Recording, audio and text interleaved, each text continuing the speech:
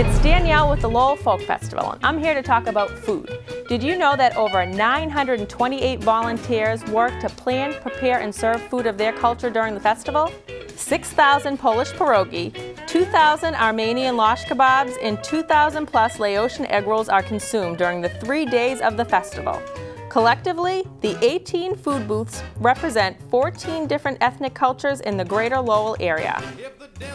Lowell area businesses supply ethnic food booths with everything from fresh vegetables to the recyclable plates and utensils that go into our recycle efforts.